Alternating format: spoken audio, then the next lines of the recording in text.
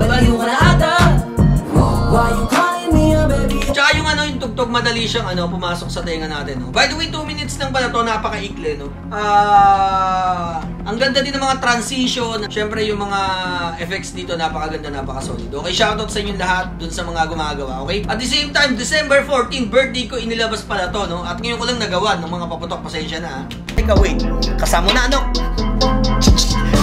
Rapping na kayong lahat Isama na rin yung mga alamat Mga baguhan, nunog yung ibang Dahil sikat ata na bagong pangkat Na kaysa sila na italaga Sino ba talaga dapat makuna? Sinong nagpunla? Mga mandirima na parang ba na tinitingala Yo, check mga kanok ng paputok. Magandang gabi sa inyo lahat. Anong putok na balita sa inyo? Putok na balita sa akin. Well, pag-uusapan lang naman natin ang putok na balita na trending number 3. Ito si J. Rowa, no? At ang title nito ay Wah! Wah! Official vertical music video. So dito mga paputok, mapapansin nyo, ang ah, music video dito ay vertical. Usually kasi mapapansin nyo, di ba? Yung mga music video is ah, horizontal. But this time, ah, tingnan natin yung ah, vertical na napili nilang music video. Okay? So, hindi ko na parang patagalin. Shoutout muna sa X-Battalion Music. Director and producer J. Rowa. Creative Director Warren Tablo. Director of Photography Sid Bacolod. Motion Graphics VFX.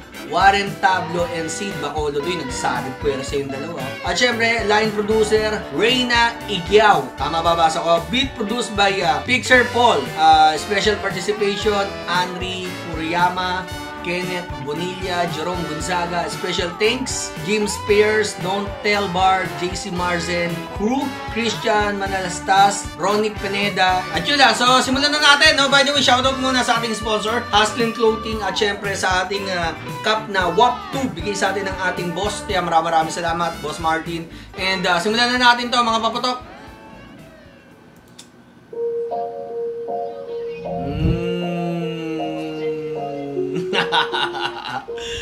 Mm. oh.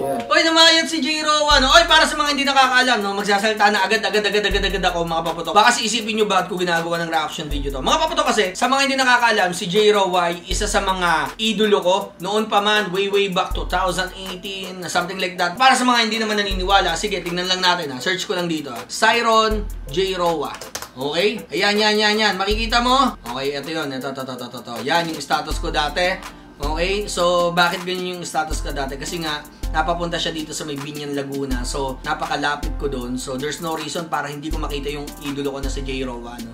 And yun, para sa mga hindi nakakaalam lang, okay? Ah, shinare ko lang, no? Na dati ko pang ah, idol si J. Rowa, lalo na sa mga sulatan. Ito, ito naman yung ano, April 12, 2019 yung uh, vape ko na yan sa Manila. At syempre sa Instagram din. At ako nga pala na huwag niyo kalimutan i-follow ako sa Instagram. Okay? Knock knock uh, underscore paputok. Okay? So dito pinapost ko yung mga mangilan-ngilan na mga photos ko na alam niyo yan. Ito! J. Rowa.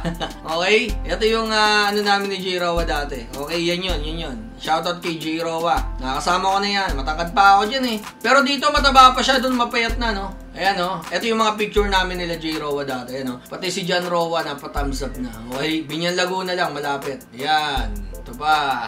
Ayan o. Oh. Mm-hmm. Oy oh. J. Rowa.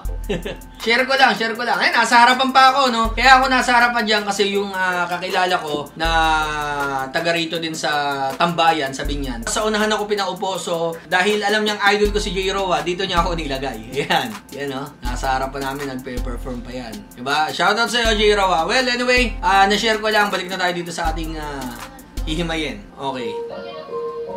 I'm back. Whoa, whoa, whoa, whoa, whoa, whoa. Why you calling me a baby? Are you crazy? I'm like, whoa. Why you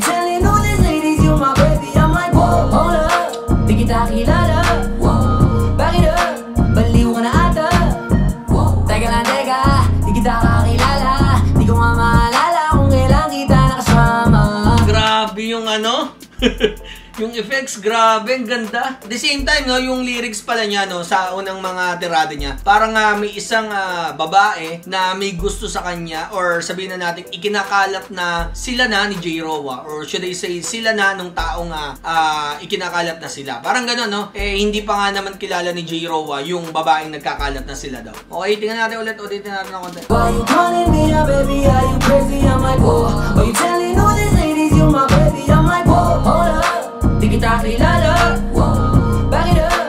Baliw ka na ata Teka lang, teka, di kita kakilala Di ko nga maalala kung ilang kita nakasama Pero ba't sinasabi mo ba lagi-lagi tayo magkausap magdamag Why you lie, you and mine Di kita matandaan, di kita hinalikan Anong sinasabi mo dyan? Oh! Tigil-tigilan mo na yung kahit mga hindi ka pagbibigyan Kahit patindihan lang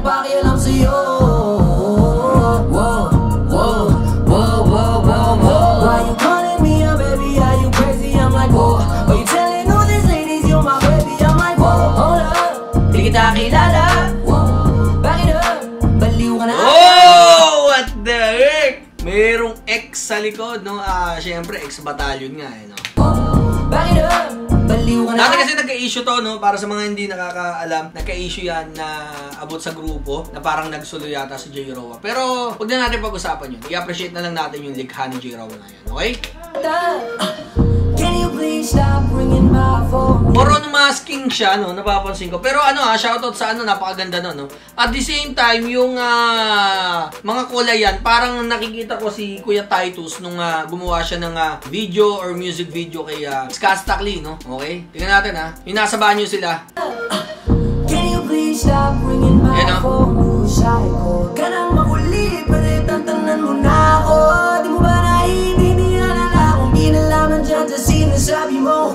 natin sinungaling, wag mo nga akong paikutin Why you calling me a baby, you Lupit. crazy? I'm like, whoa Are you telling all these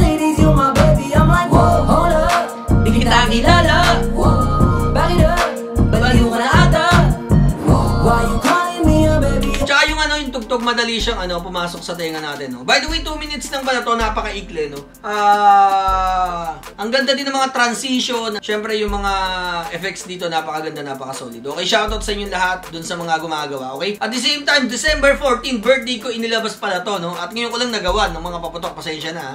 Are you crazy? I'm like, whoa. Are you telling all these ladies you're my baby? I'm like, whoa, hold up. Di kita kilala.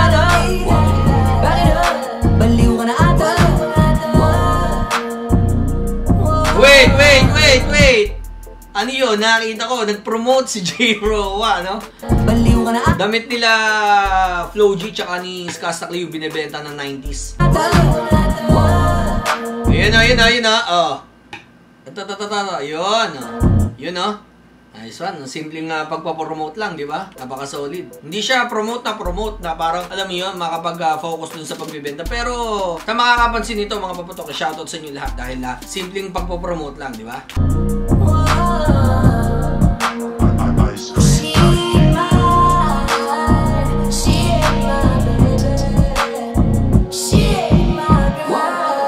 She ain't my girl. What the heck? Okay, di- dito nga, sasabihin ko na lahat ng mga pinagsasabi dito ni J. Rowa na ah, bakit ka nagsisinungaling, no? Eh, hindi naman tayo, hindi nga tayo magkakilala, hindi nga kita nahalagan. At the same time, hindi pa nga ata tayo nagkakakita ng harapan, no? Parang ganun yung sinasabi dito ni J. Rowa. At bakit mo ipagkakalat na tayong dalawa, di ba? You lied, habi. Oh! I think siya yung ano, nagkakalat, no? Siya yung nagsasabi, parang ah, yung babaeng to, siya yung sumisimbolo na siya yung babae na nagkakalat na sila ni J. Roa. Parang ganun. Kung i-apply natin sa totoong buhay, may mga ganun talaga, no? Na parang, ah, alam mo yun, ikinakalat niya na ah, naging kayo, gumagala kayo, araw-araw nag-uusap, gabi-gabi nagkakanta, nag-good night, ah, nag-good night, I love you, di ba? Pwede niyang ah, gawin yun yung babae kasi babae yun. No? Pero saan ka, hindi naman pala talaga nangyayari yun. At the end of the day, malalaman ng mga tao na nagsisinungaling ka. At syempre, masakit din yun para sa lalaki na, alam mo yun, niloko mo yung buong samahan na kayo talaga pero wala naman kayo. Hindi nga kayo nagkahalikan, hindi nga kayo nag-aawak ng kamay. Something like that, di ba? So, may mga kilala akong ganyang ah, istorya. And ah, dito sa title na Wo, no, eh, when we talk about Wo, pwede rin WA or W-H-O-A pero matagal na nga, matagal na yung pinagtatalunan yung dalawang yun kung may pagkakaiba nga ba. So dito yung Wo, para kasi itong ano, eh, isang ah, reaction na nagugulat tayo na bigla na lang may mga gantong ah, istorya, may ganito tayo malalaman, no? Parang reaction niya ng pagkagulat sa isang bagay, okay? So, shoutout ulit kay J. Rowa and uh, shoutout din sa ating mga director, producer, Jan Rowa, Nga, ulit nga. Ayan, ah, creative director, Warren Tablo, director of photography, ayan, nabasa ko na kanina, motion graphics, VFX, Warren Tablo and Sid. Shoutout sa inyo, napaka-solid yung dalawa mga tol. Line producer, syempre, solid din yan, si Reyna Igyaw. And maraming maraming salamat sa inyo lahat sa bububo. Okay? Once again, ah, huwag niyo kalimutan mag-subscribe sa kanilang YouTube channel. At the same time, sa akin na rin mga paputok, mag-subscribe kayo, Nok Nok Paputok. Don't forget to subscribe. Road to 30k subscriber na tayo. Maraming maraming salamat. Dito ko na tinatapos sa aking vlog sa mga nagtatanong dyan. Kung lagi ako makakapag-vlog, hindi ko pa magagawa yan dahil high blood ako. Then once again, ako nga pala si Nok Paputok na lagi nagsasabing, Take care. Speaker. Kape God bless us all and pray for us.